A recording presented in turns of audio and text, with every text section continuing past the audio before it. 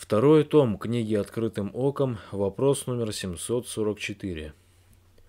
Если исполняешь отдельные пункты устава общины не в угоду Божию, а для человека, не видя никакого смысла в этом, то это грех? Отвечает Игнатий Тихонович Лапкин. Если вы член общины, то еще до принятия в нее вы дали письменное обещание добровольно и охотно соблюдать все пункты без обсуждения. Скажите конкретно, какой из 16 пунктов вам кажется противоречащим Писанию? Такого вы не найдете никогда. Наш устав принят на общем собрании.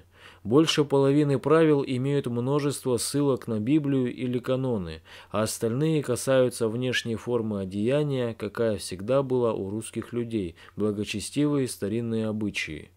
Человек должен это делать по вере, что это необходимо, как это было с сынами Рехава, которые скрупулезно выполняли завещание своего праца и были все спасены за это во время нашествия неприятеля. Книга пророка Иеремии, 35 глава, 18 стих.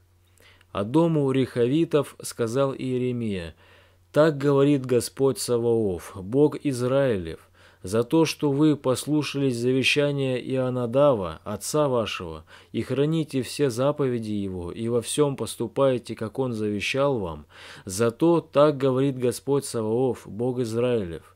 Не отнимется у Ионадава, сына Рехавова, муж, предстоящий пред лицом моим во все дни. Вы исполняете пока без любви к уставу, но потом, когда вам случится быть в храмах, где полный яролаж, как в Покровском или в Никольском соборах, вы сами себя осудите за то, что не любили наш добрый, нежный устав».